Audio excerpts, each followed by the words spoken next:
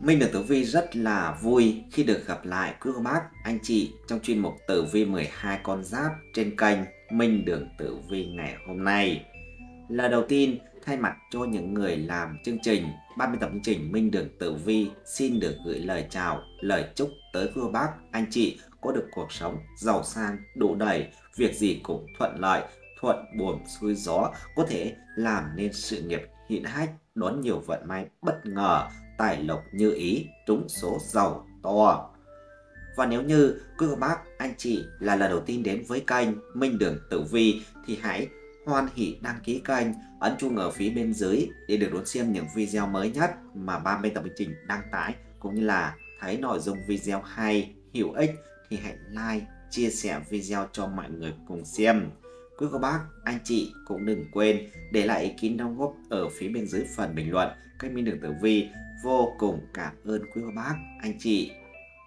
Trong nội dung video ngày hôm nay mà ba mươi tập trình gửi tới quý cô bác, anh chị đó chính là nội dung như sau. Chấn động, giới tiên tri tiết lộ sự thật chính xác 100%, cuộc đời tuổi nhâm tý sinh năm 1972, nhờ ăn ở phúc phần, trời cao có mắt, càng già càng giàu có, từ 53 tuổi biết ba điều này, tránh được tai ương, gặp thời đổi vận, tiền tiêu ba đời không hết. Thưa quý anh chị nhâm tý sinh năm 1972 thân mến, ở đời không ít người quá hám tài, tham quyền háo sắc mà đánh mất đi lý trí, đạo đức nhân cách, khiến bản thân lâm vào cảnh thân bại danh liệt. Người sống thiện lương thường chấp nhận thua thiệt, nhưng trời cao sẽ phù hộ, mỗi một hành động hướng thiện tích đức đều sẽ giúp bản thân tăng thêm phúc khí. Khi đứng ở trên vị trí cao hơn người khác, ắt sẽ bị không ít người đố kỵ, đó là điều khó có thể tránh khỏi, bởi không muốn người khác hơn mình là thói ghen tị thường tình của con người. Cổ nhân có câu, trung hòa là phúc, cực đoan là họa, người mà trong lòng bình thản làm việc trung dung ắt sẽ có phúc báo. Ngược lại, kẻ mang tính cực đoan thì làm việc gì cũng không thuận lợi và dễ rước họa vào thân, hành trình cuộc đời còn lại vô cùng quý giá. Vậy nên ta phải có từng đường đi nước bước cẩn trọng để giữ cho mình những gì mình đang có, đồng thời thuận lợi bình an bước trên con đường đời thịnh vượng viên mãn trong suốt quãng đời còn lại. Xem tử vi chọn đời của anh chị tuổi nhâm tý, sinh năm 1972, cuộc đời thời trẻ nhiều lao đao lận đận, vất vả ngược xuôi khó khăn đủ đường. Nhưng không vì thế mà con giáp này nản lòng, nhờ sự nỗ lực cố gắng của mình mà từ trung vận trở đi họ gặt hái được thành công, quý nhân giúp đỡ, tài lộc được tốt đẹp, công danh sự nghiệp dạng ngời, về hậu vận gặp nhiều may mắn phúc lộc hội tụ, công thành danh toại, tiền bạc dùng dình an hưởng tuổi già. Đặc biệt, trong vận trình chọn đời của nhâm tý, có giai đoạn năm 53 tuổi, chính là thời điểm vàng quyết định số phận một đời còn lại của con giáp này. Sẽ có nhiều gian nan hiểm cảnh, khổ nạn trùng trùng, nhưng trong cái rủi có cái may, chỉ cần nhâm tý biết trước ba điều này là hóa hung thành cát, vận hạn tiêu tan, đón thời giàu sang, vinh hiển thịnh vượng, định mệnh của bạn trong đại nạn chính là số kiếp phú quý hoàng kim. Vậy, vận trình của người tuổi nhâm tý theo luận giải mới nhất diễn biến ra sao, từ 53 tuổi cần chuẩn bị điều gì và phải lưu ý những gì thì xin mời tín chủ chiêm nghiệm ngay sau đây. Trước tiên, chúng ta hãy cùng đi tìm hiểu tính cách và tài năng làm nên vận mệnh cuộc đời người tuổi nhâm tý, sinh năm 1972. Xem tuổi nhâm tý có thiên can là can nhâm, dương thủy ghép với chi tý là dương thủy. 1. Thiên can nhâm là gì? Thiên can nhâm là can đứng thứ 9 trong 10 thiên can. Thiên can gắn liền với chu kỳ sinh trưởng của thực vật, bởi có tính tuần hoàn nên đứng trước nhâm là tân và đứng sau là quý. Thiên can nhâm chỉ hạt quả, trái cây được phát tán rộng rãi khắp nơi, bắt đầu chuẩn bị nảy mầm. Tính cách người thiên can nhâm thủy, nhiệt tình cuồn cuộn như dòng sông đang trôi chảy nhanh nhạy, giỏi ứng biến. Họ thường xuyên tươi cười thân thiện với mọi người, rất ít khi gây thù chuốc oán. Nhâm là thủy, nếu có phúc thường nhiều tiền và có nhiều tài sản, là biển lớn, nên trong kinh tế thương trường rất nhanh nhạy và sung mãn, trí tuệ hơn người, nhanh nhạy khéo léo trong giao tiếp, giỏi kiếm tiền. Nhâm thủy là anh em của nước, nên người này cũng có tính kiềm chế và bao dung, hào phóng, có khả năng bảo bọc tràn đầy dũng khí. Tuy nhiên họ cũng có tính ỉ lại rất cao, làm việc không tập trung cao độ và chậm, vì thuộc hành thủy nên tuổi nhâm tý có trí tuệ hơn người, đa tài đa nghệ, văn võ song toàn, tuổi nhâm tý có lối suy nghĩ lạc quan và có tính hướng ngoại, có mưu lược và biết nắm lấy thời cơ. Người tuổi nhâm tý thông minh nhưng hay ít chịu khuất phục trước người khác. Ngoài ra, người thuộc thiên can nhâm cũng dễ bị kích động hay thay đổi thái độ nên người bên cạnh khó mà thích ứng được. Họ thiếu tính tỉ mỉ, làm việc thường qua loa, nhưng ít khi nhận lỗi, tính cách của họ độc lập và tự phụ rất cao, nắm được thiên thời nên dễ chiếm được tiện nghi trong nhiều hoàn cảnh. Vì nhâm biến vi vương, nên người có thiên can nhâm phải lấy phúc đức làm trọng, cần luôn luôn ôn hòa, vị tha và biết chia sẻ thì cuộc sống sẽ tốt đẹp. Nếu họ chịu khó học hỏi, khiêm nhường, sẽ được quý nhân phù trợ, nhiều trợ giúp từ quân tử.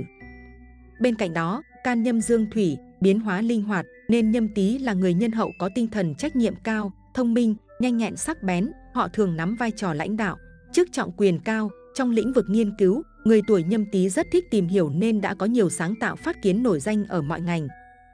Người tuổi nhâm tý thuộc mệnh mộc, nếu có chính tinh và nhiều trung tinh đắc cách hợp mệnh, xa lánh hung sát tinh thì họ thường là mẫu người thành công, có địa vị danh vọng trong xã hội ở mọi ngành nghề, này học hành đến nơi đến chốn, tu thân dưỡng đức sẽ được hưởng giàu sang phú quý, có lúc sướng như vua.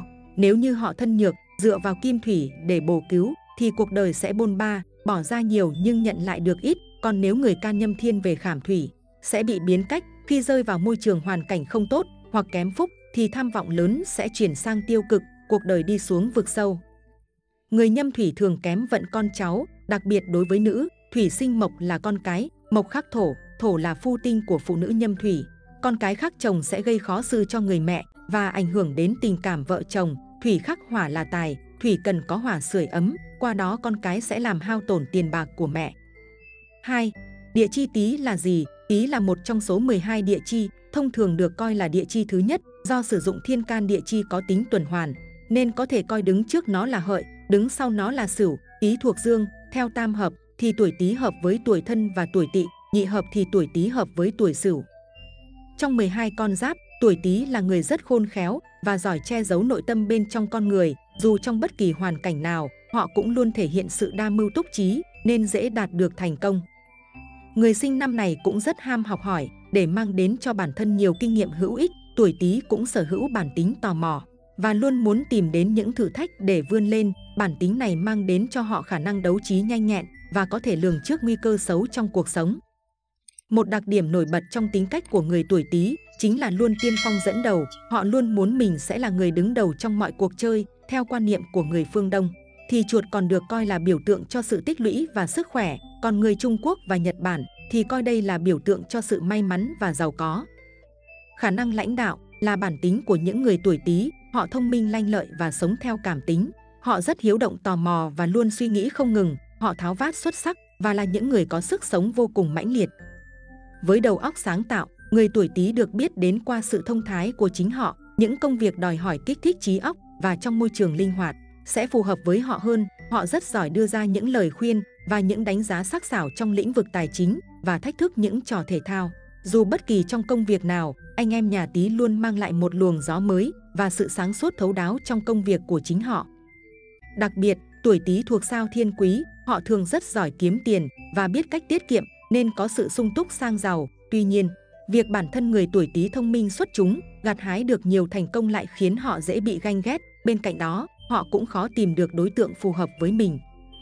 Trong tình cảm, họ luôn thể hiện sự chân thành, nghiêm túc và xem trọng hôn nhân. Người tuổi Tý có một sức hấp dẫn lạ lùng, được mọi người yêu quý, họ là người dễ gần, cần cù và sinh hoạt tiết kiệm. Nhìn bề ngoài tuổi Tý có thể là người trầm lắng ít lời và nghiêm túc, nhưng trên thực tế, họ lại rất dễ bị kích động.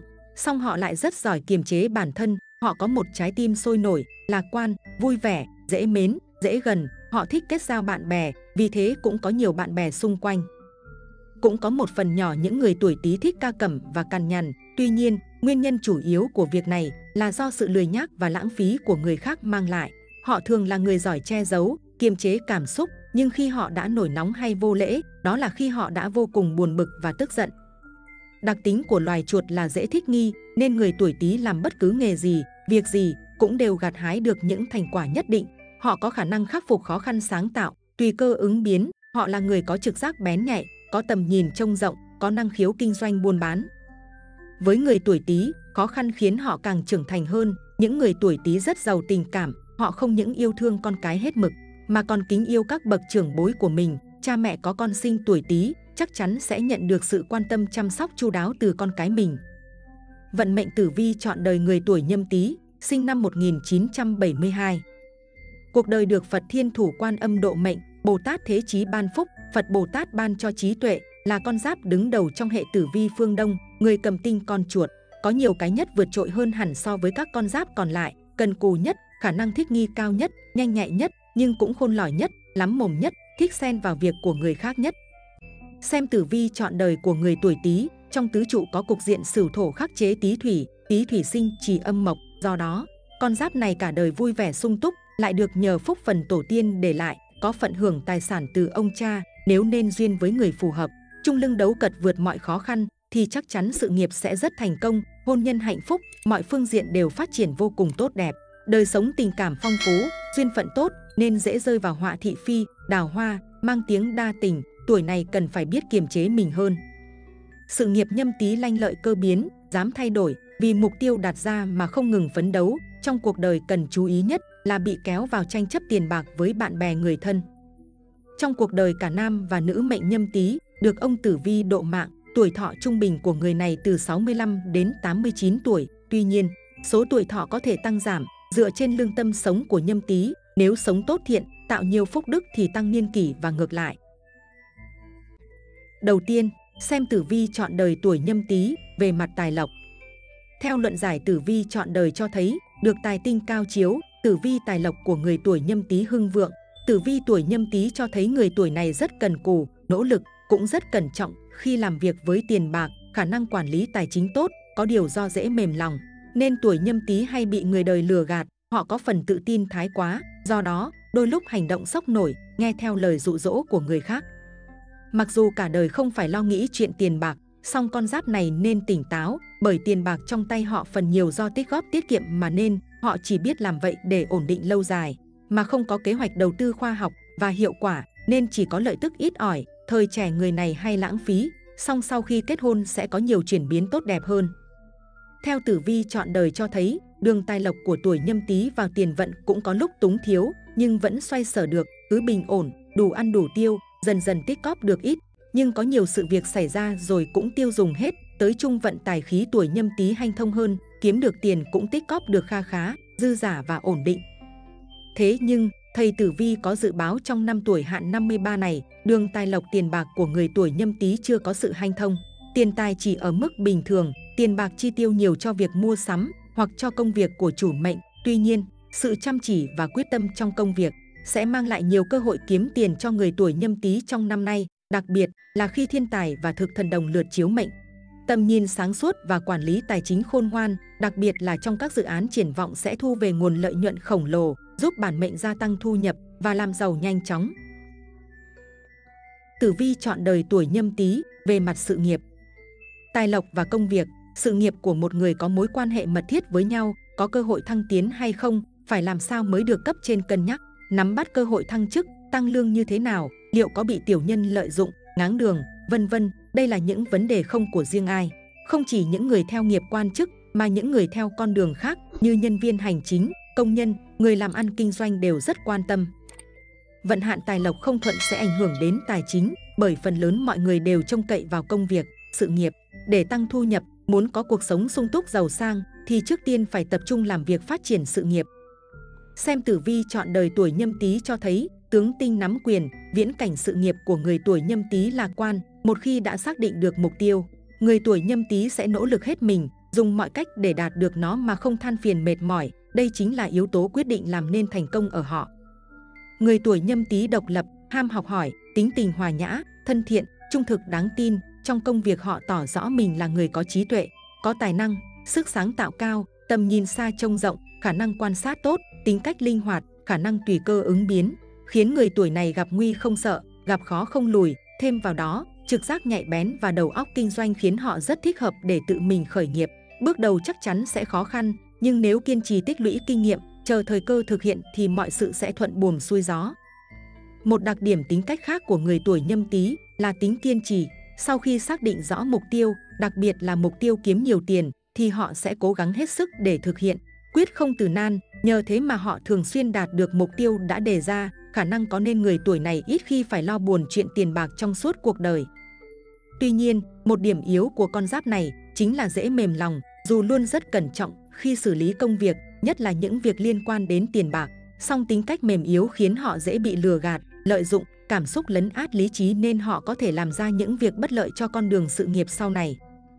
Người này rất giỏi giao tiếp, cũng thẳng thắn bày tỏ quan điểm với người mình thực sự quý mến, họ được nhiều người yêu quý và rất đông bạn bè. Tính khéo léo giúp họ dễ dàng xử lý công việc mà hiếm khi đắc tội với nhiều người. Khi gặp khó khăn chắc chờ trong công việc thì luôn nhận được sự giúp đỡ của rất nhiều người. Đặc biệt trong năm 2024 sẽ mang đến những thay đổi lớn trong sự nghiệp của người tuổi nhâm tý nhờ cát khí tích cực từ tam hợp, sự nghiệp có nhiều tiến bộ, nhưng đồng thời cũng đối mặt với một vài thách thức. Sự chuẩn bị và tính toán trước sẽ giúp người tuổi nhâm tý vượt qua khó khăn và nắm bắt được cơ hội chuyển mình. Năm 2024, người tuổi nhâm tý sẽ thoát khỏi tình trạng bế tắc trong sự nghiệp và giải quyết hiệu quả nhiều trở ngại, quan hệ với đồng nghiệp đối tác được củng cố và mở rộng, tạo điều kiện thuận lợi cho sự thăng tiến. Tuy nhiên, ảnh hưởng của tam tai vẫn tồn tại, bản mệnh không được chủ quan đâu nhé. Tử vi chọn đời tuổi nhâm tý về đường tình cảm gia đạo. Đa phần những người tuổi nhâm tý có tình cảm nội tâm rất dồi dào, phần nhiều họ rất nhân từ, khoan dung độ lượng với người mình yêu mến. Họ luôn biết nhường nhịn và không phải so đo từng ly từng tí khi xảy ra tranh cãi, bằng lòng nhân từ vốn có. Người tuổi nhâm tý luôn khiến người đối diện hết sức yêu quý mình, bởi vậy, ngay từ đầu đã có thể giành được thiện cảm của người khác. Tuy nhiên, đường tình duyên của người tuổi nhâm tý lại không thật sự thuận buồm xuôi gió. Khi yêu người tuổi nhâm tý thường rất chăm chút chu đáo, nhưng lại luôn đòi hỏi người ta phải báo đáp lại mình. Đôi khi sự quá nhiệt thành trong tình yêu lại khiến người tuổi tý tay trắng vẫn hoàn tay trắng. Một điều có thể khẳng định là trong cuộc sống gia đình của những người tuổi nhâm tý khá hạnh phúc, nhưng đôi khi vẫn xảy ra những cãi vã từ những chuyện không đâu. Nam giới tuổi nhâm tý đối xử với người khác thân thiết hòa nhã, tính tình rộng rãi và hiểu nhiều biết rộng. Khi bạn đang yêu thường tỏ ra nho nhã ôn hòa, quan tâm hết mực đến người ta, tuy bạn thành khẩn, lễ độ chất phác không màu mè, nhưng khi bị phái nữ trêu chọc, bạn sẽ không ghìm được mà lột hết sạch mọi tính tình thiên bẩm ra. Lúc ấy cô gái bên cạnh bạn sẽ hoài nghi nhân cách của bạn. Nữ giới tuổi nhâm tý thường theo đuổi những mối tình viển vông, bạn luôn hy vọng được làm một người tình tuyệt vời trong lòng một ai đó, kể cả là bề ngoài hay nội tâm, bạn là người khá yêu tự do, thích được bình đẳng, ấp ủ lòng kính phục người yêu, người có thể khiến bạn lao tâm khổ tứ, đều tài giỏi xuất sắc, đáng tiếc hễ bạn cảm thấy năng lực của người yêu không ưu tú như bạn vẫn tưởng tượng, liền mất đi lòng tin, nữ giới tuổi nhâm tý sẽ trở thành một bà chủ gia đình cực tốt, vừa chăm lo gia đình, lại vừa chăm lo cho sự nghiệp. Theo tử vi chọn đời tuổi nhâm tý, đa phần họ đều thành công, bất luận là làm công việc gì, bởi họ là những người luôn bình tĩnh, tỉnh táo và nhạy bén, họ có trực giác sắc sảo và tầm nhìn xa, đường tình yêu của họ thuận lợi, thế nhưng cuộc sống gia đình phần nhiều là hạnh phúc. Về phương diện sức khỏe, Tử vi chọn đời tuổi Tý cho thấy sức khỏe của người tuổi nhâm Tý đa số là khá tốt, ít khi mắc bệnh nghiêm trọng hay bị bệnh tật làm ảnh hưởng, dù vậy họ vẫn nên tập cho mình thói quen hay duy trì việc tập thể dục hàng ngày, vừa làm tăng cường sức đề kháng của cơ thể, vừa giúp giảm bớt nguy cơ bệnh nguy hiểm. Lúc còn trẻ, nhiều người tuổi nhâm tý lại thường tập trung cao độ để làm việc, nên ít khi chú ý đến chế độ ăn uống, ngủ nghỉ, thức khuya thời gian dài, khiến cơ thể mệt mỏi uể oải, phần nào giảm đi sức đề kháng, dẫn đến việc mắc các bệnh cảm cúm thường thấy theo mùa. Sau đây là một số lưu ý cho tuổi nhâm tý, giúp bạn sống khỏe, sống lâu, có chế độ ăn uống đầy đủ dưỡng chất, ăn đủ bữa, đúng giờ, tránh xa các đồ ăn nhanh và các chất kích thích như rượu, bia, thuốc lá, rèn luyện thể dục thể thao theo những môn yêu thích, đi bộ, yoga, tập hít thở cũng giúp cho sức khỏe nhâm tý luôn được đảm bảo. Người tuổi nhâm tý nên theo dõi sát sao tình trạng sức khỏe, cần làm việc và nghỉ ngơi điều độ. Khi quá tải công việc và áp lực đè nặng, bản mệnh hãy nghỉ ngơi và có thể chọn đi xa, du lịch vài ngày để thư giãn và nạp lại năng lượng. Ngoài ra, nhâm tý chứa nhiều thủy tính trong tuổi, khi thủy vượng hay suy, thiếu chất thổ kiềm chế, các bộ phận bài tiết như thận, bàng quang, thính giác, khí huyết dễ có vấn đề khi lớn tuổi nên lưu ý sớm từ bây giờ, về già đỡ bận tâm nên đặc biệt chú ý tránh để bị trúng gió, đau dây thần kinh hoặc xương khớp. Mỗi khi cơ thể phát ra tín hiệu bất thường gì, đừng nên coi thường mà hãy để tâm và đi khám chữa ngay cho hiệu quả quý vị nhé. Tiếp theo là vận mệnh của tuổi nhâm tý sinh năm 1972 theo tháng sinh âm lịch. Vận mệnh của tuổi nhâm tý sinh tháng 1 âm lịch. Người tuổi nhâm tý sinh vào tháng 1 là người thông minh, tài giỏi, nhưng tính cách lại quá bảo thủ và độc đoán, cho trong cuộc sống gặp phải nhiều thăng trầm nhưng cuối cùng cũng thành công trong sự nghiệp. Vận mệnh của tuổi nhâm tý sinh tháng 2 âm lịch. Người tuổi nhâm tý sinh vào tháng 2 là những người dễ gần, tính cách thân thiện, giỏi ăn nói và thích kết giao bạn bè. Trong cuộc sống được quý nhân giúp đỡ nên khá thuận lợi và may mắn, tâm hồn lãng mạn thích hợp theo nghề nghệ thuật. Vận mệnh của tuổi nhâm tý sinh tháng 3 âm lịch Người tuổi nhâm tý sinh vào tháng 3 là người ít nói, không thích giao tiếp với người khác, cuộc sống gặp nhiều trắc trở, từng bị phản bội, khi ra ngoài cẩn thận hơn. Vận mệnh của tuổi nhâm tý sinh tháng 4 âm lịch Người tuổi nhâm tý sinh vào tháng 4 có tính cách mềm yếu dễ bị dụ, cần chú ý hơn tới các mối quan hệ xung quanh, không nên kết bạn bừa bãi, đề phòng kẻ gian lợi dụng. Vận mệnh của tuổi nhâm tý sinh tháng 5 âm lịch Người tuổi nhâm tý sinh vào tháng 5 là người thông minh, tính cách mạnh mẽ, có danh tiếng và uy vọng khá cao trong công việc, trong cuộc sống đôi khi gặp phải nhiều khó khăn vất vả, nhưng có số giàu sang. Vận mệnh của tuổi nhâm tý sinh tháng 6 âm lịch Người tuổi nhâm tý sinh vào tháng 6 là người có tài, nhưng tham vọng lại quá lớn. Trong công việc hay xảy ra xung đột cãi vã với đồng nghiệp, nên chú ý tới sức khỏe bản thân, đề phòng các bệnh như đau đầu, stress. Vận mệnh của tuổi nhâm tý sinh tháng 7 âm lịch Người tuổi nhâm tý sinh vào tháng 7 là người có tài nhưng tính cách lại khá nóng nảy, vận số khá tốt trong công việc không có điều phải lo lắng. Vận mệnh của tuổi nhâm tý sinh tháng 8 âm lịch Người tuổi nhâm tý sinh vào tháng 8 là người giỏi giao tiếp, có năng lực trong công việc, tuy nhiên cần chú ý tu tâm dưỡng tính nhiều hơn, làm việc phải thận trọng và suy nghĩ kỹ càng. Vận mệnh của tuổi nhâm tý sinh tháng 9 âm lịch Người tuổi nhâm tý sinh vào tháng 9 là người hiền lành, thật thà nhưng lại khá thận trọng và không thích giao tiếp, cuộc sống gặp nhiều khó khăn vất vả, có nhiều chuyện buồn phiền. Vận mệnh của tuổi nhâm tý sinh tháng 10 âm lịch Người tuổi nhâm tý sinh vào tháng 10 là người học rộng biết nhiều, tư duy nhạy bén nhưng không biết nắm bắt thời cơ, thành công khá muộn. Vận mệnh của tuổi nhâm tý sinh tháng 11 âm lịch Người tuổi nhâm tý sinh vào tháng 11 có tính cách âm trầm khó đoán, thích một cuộc sống tự do thoải mái, vận số khá tốt đẹp và thuận lợi. Vận mệnh của tuổi nhâm tý sinh tháng 12 âm lịch Người tuổi nhâm tý sinh vào tháng 12 có tính cách hào sảng, hay quan tâm giúp đỡ người khác. Những người này cuộc sống khá bận rộn, không có nhiều thời gian cho gia đình. Quý vị thân mến, một người có trạng thái tốt nhất chính là trên mặt luôn biểu hiện nhiều câu chuyện, trong mắt nhiều ánh dương, mỗi ngày đều có thể vui cười tự do tự tại, không ngưỡng mộ ai và cũng chẳng xem thường người khác, ai cũng mong muốn mình có cuộc sống mỗi ngày một tốt hơn, thành công hơn trong cuộc sống thì 7 yếu tố dưới đây có thể sẽ giúp được tín chủ.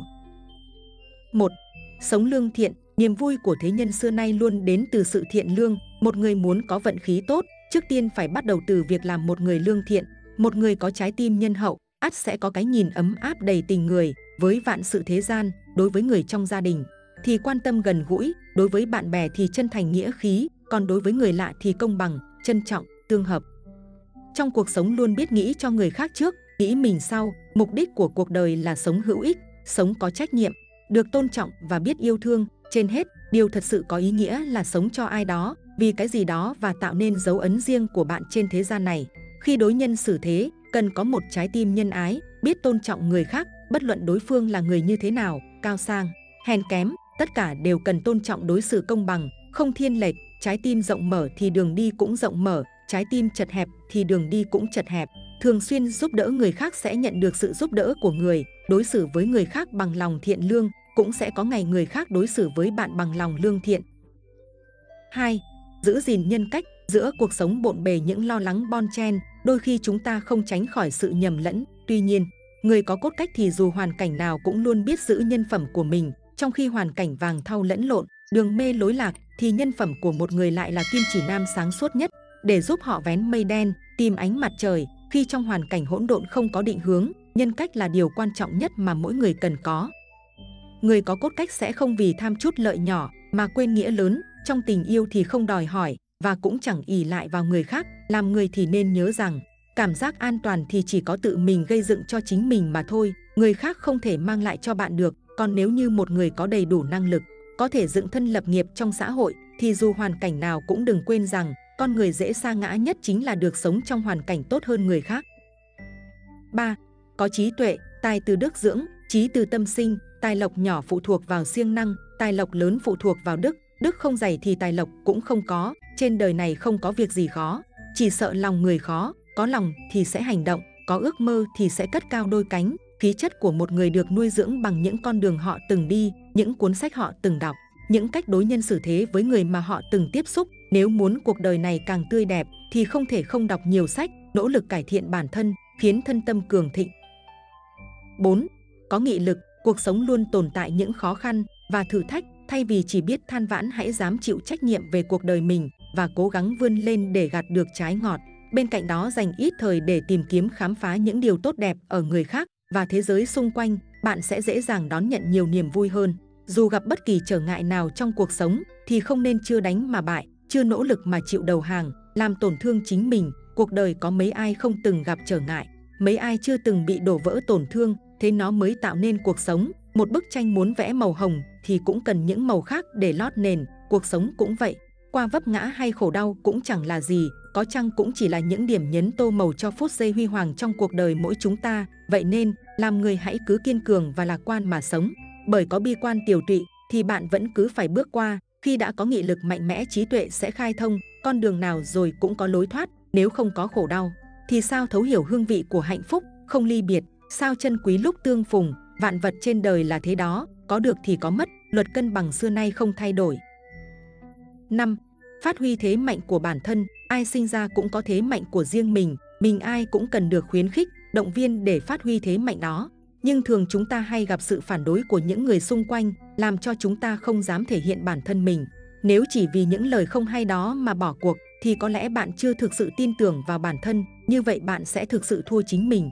Do đó, đừng ngần ngại trước những lời đàm tiếu, hãy xem đó là nguồn động lực để ta quyết tâm hơn, hãy cho họ thấy bạn là ai và sẽ làm được gì. 6.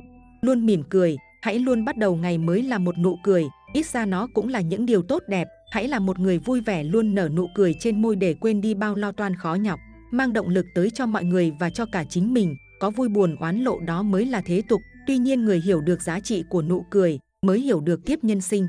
Cười khi sung sướng là cái cười của thế nhân phàm tục, còn cười trong trở ngại khó khăn, đó chính là cái cười của trí tuệ, đừng khóc vì những gì đã qua, mà hãy cười về mọi việc đang ở phía trước, Nụ cười của bạn rất đáng giá, nó có thể mang lại cả một bầu trời, mang lại niềm hạnh phúc cho bất kỳ ai, một nụ cười sảng khoái. Nó được thể hiện bởi một trái tim hoan ca, nếu như không có sự tử tế, chúng ta cũng không có niềm vui thực sự. Tuy nhiên, cười không phải lúc nào cũng là thước đo của hạnh phúc, đôi lúc nó cũng chỉ là cách để đánh giá bạn muốn giấu nỗi đau như thế nào, nhưng hãy luôn mỉm cười khi đó cuộc sống của bạn sẽ bớt đi mệt mỏi và căng thẳng.